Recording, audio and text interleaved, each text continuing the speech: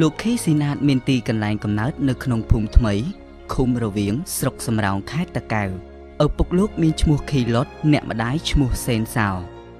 លោកគឺជាកូនពៅក្នុងចំណោមបងប្អូនចំនួន3នាក់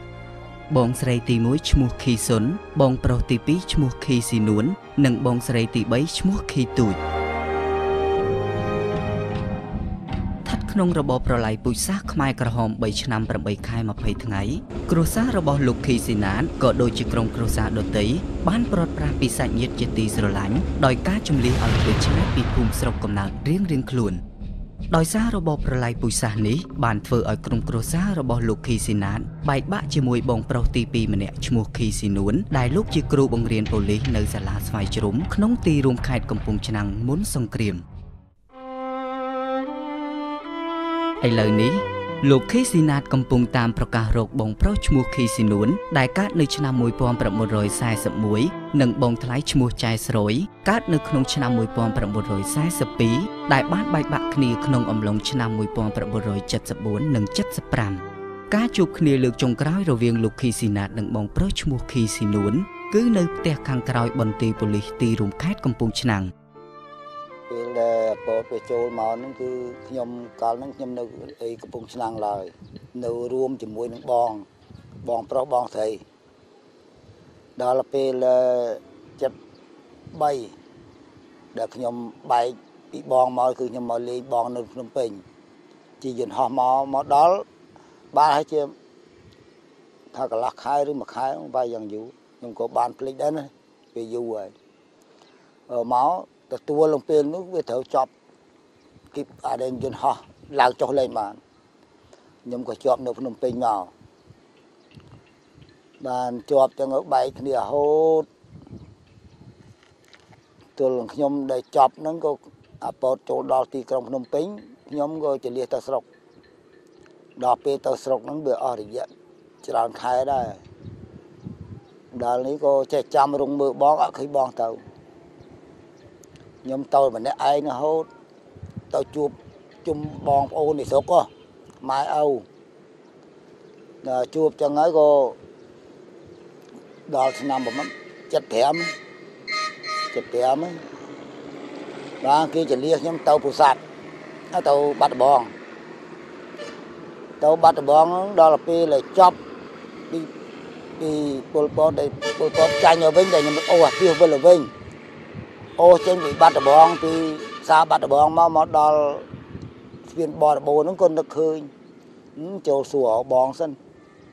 តែលោកគាត់មិននៅផ្ទះម្ដាយធរគាត់នៅបរបូរក៏ខ្ញុំចុះទៅដីប្រហែលជា3គីឡូជាងខំដើរទៅហើយខ្ញុំខំដើរទៅទៅដល់ទៅសួរសួររកផ្ទះយាយក៏រកឃើញសួរតែណាផ្ទះយាយម៉ែស្ដើង និយាយទៅនោះដល់ផ្ទះមុនធំឥឡូវតូចគាត់ប៉ិនគាត់ធ្វើនៅកន្លែងដែរកន្លែងភូមិចាស់គាត់ទៅដល់ខ្ញុំចូលទៅដល់សួរអ៊ំអ៊ំដែលមានឃើញបងខ្ញុំមកហ្នឹងឯនៅហ្នឹងអត់ទេគាត់ថាទៅមកដល់មិញណាមកដល់ចេញទៅផុតមកស្ទុះខ្ញុំក៏មិនបាននេះទេលាគាត់ហ៊ីងវិញតាមដែររកបងមកដល់ឡើងមកដល់ខ្នល់ អត់ឃើញចិត្តចាក់បដោយទៅលិចទៀតអត់ឃើញទៀតដល់ហើយជាដី2គីឡូជាងចេញតាមខ្នល់ដី2គីឡូជាងអមឃើញបកមកតាមប្រពន្ធវិញប្រពន្ធខ្ញុំហ្នឹងប្អូនថ្លៃគេនាំនេះអូអាទិះមកតាមផ្លូវយើងជាតិលេខ5ដើរហ្មងអត់តាន់បាននាំគ្នាមកមកដល់កំពង់ឆ្នាំងនឹកបងបែកឲ្យរលែងឃើញ គេទៅលិចហើយគេតម្រេះវិជាគេមានយើងអត់ទៅគេរៀនវាចប់ហើយបារាំងអង់គ្លេសរៀនទៅបានធ្វើការគេបើគេទៅលិចហ្នឹងវាទៅចូលជំរុំហើយខ្ញុំនឹកចឹងព្រោះគេបបួលខ្ញុំទៅដែរក្បាយគេបបួលទៅឲ្យទៅលិចទៅចូលនៅជំរុំយន្តហោះគេមកយកមកយកនៅជំរុំហ្នឹង អញ្ចឹងមិនទៅទៅនឹងថ្ងៃណាខែណាបានមកស្រុកវិញបាទខ្ញុំដាច់ចិត្តទៅមកស្រុកហ្នឹងហើយបងទៅខ្ញុំត្រេកអរថាបើគាត់ទៅលិចទៅទៅគាត់ទៅជំរុំហើយសូម្បីតែបងប្អូនទៅច្រើនហើយហ្នឹងមិនតិចទេរឿងទៅជំរុំខ្លះទៅងាប់ខ្លះទៅរស់មិនទៀងដែរ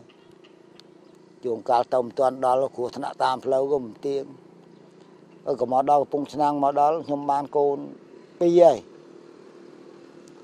បានកូន2កូន3 3ទៅមួយប្រុសក៏លឺតំណឹងមកពីខាងកោះធំគេទៅប្រាប់ម៉ែខ្ញុំឲ្យតកែវថាបងបងស្អីបងថ្លៃអីនៅពងឆ្នាំងបានខ្ញុំក៏ម៉ែខ្ញុំឲ្យលុយមកផ្សំខ្ញុំទៀតទៅមកកាលនោះទៅលុយប៉ុន្មាន4 5 6ម៉ឺនកាលនោះមាសនៅថ្លៃហ៊ីងទៅទៅគាត់ចេញពីព្រឹកឯង គាត់ចេញហើយម៉ោង7ម៉ោង8ហ្នឹងខ្ញុំម៉ោង9មិនទៅដល់ពងឆ្នាំងទៅសួរគេទៅថាបងគាត់ទៅចេញទៅមិញហ្នឹងទៅផ្សារខ្ញុំក៏លាគាត់ហ៊ីងទៅផ្សារទៅផ្សារហ្នឹងដើររក្នុងផ្សារហ្នឹងអូរសពសួរគេឲ្យខ្ញុំបានផ្ទះលក់បាយមកគេថាគេស្គាល់និយាយហ្នឹងគាត់លក់នៅដល់នំចុកហើយចឹងគាត់ថាគាត់ប្រពន្ធគ្រូស៊ីនួន ធ្វើនៅធ្វើប៉លិសគេស្គាល់ចឹងទៀតណាបើខ្ញុំដើរមិនឃើញ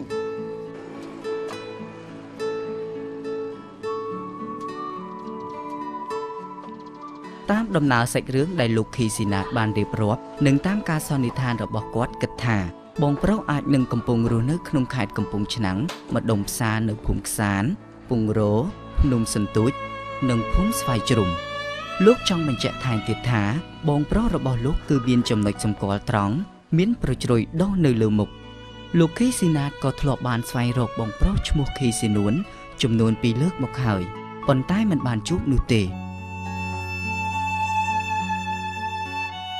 កាលពីដែលជួបជុំខ្ញុំនៅជួបបងខ្ញុំហ្នឹងវានៅកំពង់ឆ្នាំងគាត់ធ្វើបលិសខ្ញុំក៏ធ្វើទាហានដែរតែតែហេតុបលិសហ្នឹងគេទាញមកចូលចូលទាហានវិញ គាត់ធ្វើជាគ្រូបលិសដល់ពេលគេមលាយបលិសចោលទៅគេយកមកចូលទាហានគាត់នៅកំពង់ឆ្នាំងហ្នឹងក៏បាននេះខ្ញុំក៏នឹកបងទៅទៅធ្វើទាហានមួយបងទៅដល់ចិត្តបែកហ្នឹងមកខ្ញុំសុំច្បាប់គេយកមកមកពេញដល់មកនោះបែកនេះដំណឹងបដ ாய் នេះឮដំណឹងគេប្រាប់មកពីខាងខេត្តកដាលខាងកោះធំគេថាបងនៅ នៅកំពង់ឆ្នាំងទៅលឺមែន ដល់ពេលខ្ញុំទៅនោះគឺទៅកាត់កាត់គ្នាមិនថាវាកណ្ដោដូចក៏ខុសគ្នាបន្តិចតិចហើយ5នាទី10នាទីហើយយើងដើររហូតមិនឃើញសួរទៅនោះគេស្គាល់ទៅនោះស្គាល់ប៉ុន្តែវាមិនជួបផ្ទាល់ខ្លួនយើងគាត់ថាដឹងថាគាត់រស់ហើយបើឡើមិនរស់មិនបើពួកម៉ាក់គាត់ស្គាល់ច្បាស់ណាស់នៅជាមួយគ្នាតាំងពីសង្គមលន់នល់ ហើយដល់ទៅអាគេនៅបងឲ្យអត់ឃើញឃើញតែមកសម្រាប់ផ្ទះគេហ្នឹងហើយលឹមឡើងចេញបាត់ទៅផ្សារហើយដល់ខ្ញុំទៅផ្សារសួរគេផ្សារហ្នឹងក៏គេថាស្គាល់លើប៉ុន្តែមិនដឹងថាគាត់នៅកន្លែងណាកន្លែងណាអត់ដឹងតែគេជួបមកទិញម្ហូបនៅផ្សារកំពង់ឆ្នាំងហើយដល់ខ្ញុំទៅលើក្រោយទៅគេថាគាត់នឹងលក់នំបញ្ចុកតែមិនដឹងជាផ្ទះនៅកន្លែងណាអត់ប្រាប់ម្ចាស់ផ្ទះមិនដឹងផ្ទះនៅទីណាកន្លែងណា ដូច្នេះបានជាខ្ញុំខំស្វែងរកហ្នឹងដើម្បីថាបងពិតជានៅរស់ខ្ញុំថាសពថ្ងៃបើជាឆ្នាក់នៅបលីបើមិនបលីនៅខ្សាម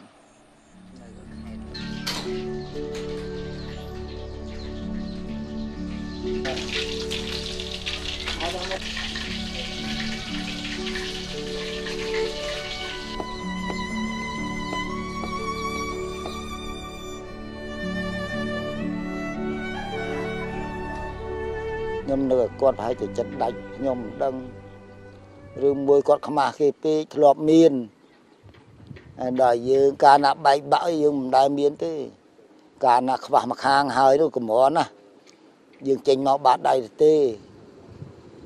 ខ្ញុំថាឲ្យតាបងមកមិនបាច់ឲ្យរកអីទេខ្ញុំចិញ្ចឹមទល់គាត់ស្លាប់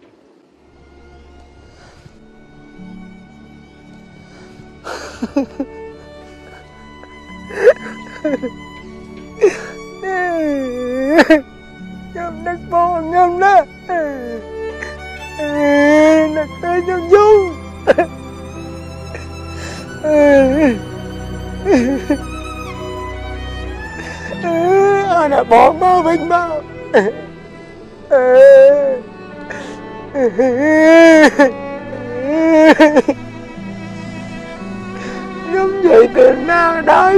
ន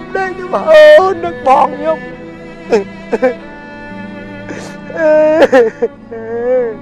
ម៉ែក៏ស្លាប់ឪក៏ស្លាប់ដល់ថ្ងៃនៅតែពីអ្នកបងប្អូនទេ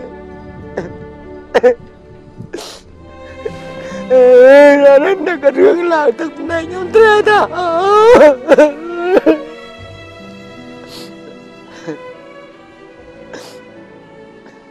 ទោះបីបងមិនមិននឹកទេឲ្យតែប្រាប់ថាឲ្យអូនដឹងនៅកន្លែងនេះកន្លែងនេះទៅខ្ញុំអស់ចិត្តហើយ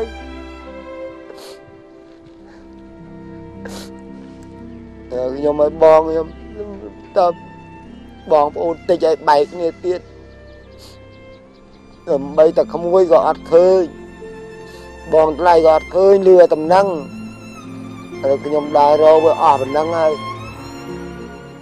តាំងពីអត់លុយសឹកចិត្តតាមមកបង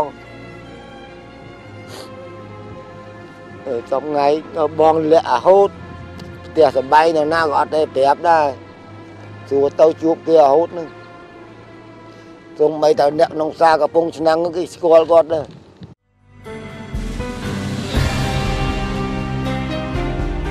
ប្រសិនបើលោកខីស៊ីនួនដែលត្រូវជាបងប្រុសទី2របស់លោកខីស៊ីណាតបានលើដំណឹងនេះ ឬទស្សនិកជនដែលបានស្គាល់លោកខីស៊ីនួនដែលជាអតីតគ្រូបង្រៀនប៉ូលីសនៅសាលាស្វាយជ្រុំក្នុងទីរូបខេត្តកំពង់ឆ្នាំងឬក៏បានស្គាល់ពីភិនភាកដោយដែលបានរៀបរាប់ជូនខាងលើសូមទស្សនិកជនទំនាក់ទំនងមកកម្មវិធីយើងខ្ញុំតាមរយៈលេខទូរស័ព្ទ0975 097 097ឬមកទំនាក់ទំនងដោយផ្ទាល់ជាមួយកម្មវិធីមនុស្សធម៌នេះមិនមែនជាសុបិនដែលមានអាសយដ្ឋាននៅអគ្គនាយកដ្ឋានវិទ្យុនិងទូរទស្សន៍បាយ័ន ខ្ញុំសង្ឃឹមថាថ្ងៃណាមួយខ្ញុំនឹងបានជួបបងប្រុសនិងបងស្រីព្រមទាំងមួយ បានឃើញហើយក៏វិលត្រឡប់មកស្រុកណើតរបស់យើងមកបានជួបបងប្អូនបើយើងនៅមិនព្រមមកផ្ទះមកសបែងអញ្ចឹងបង្កើតដែរបងប្អូននឹកនឹកជារៀងរាល់ថ្ងៃថ្ងៃណាក៏បង្ហូរទឹកភ្នែកដែរសូមបងឲ្យវិលមកវិញ